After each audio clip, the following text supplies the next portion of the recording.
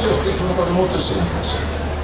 Responsabilità e opportunità. Se voi volete con orgoglio che i nostri quartieri, e noi possiamo tornare a essere la regina di questo mondo, se noi volete che possiamo guardare in faccia chi viene qua ogni volta ci fa la morale, la morale la facciamo noi agli altri, se voi volete tutto questo, se voi volete essere protagonisti, perché io sono protagonista, io esisto se voi mi date il voto, altrimenti non esisto proprio.